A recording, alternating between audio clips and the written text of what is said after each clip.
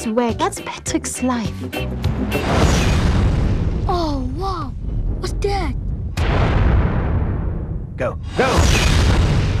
Tim Robbins plays the colonel in the South African police security branch who tortured and humiliated the real prisoner Patrick Chamusso in Catch a Fire. Years later, after his release, Chamusso once saw his captor at a gas station and didn't feel any feelings of revenge, only forgiveness. Tim says Chamusso is a model to live by when seeking peaceful solutions in times of adversity. If we can all aspire to half of that, you know, what he was able to achieve in his life, to overcome what he's overcome. Um, you know, you always hope that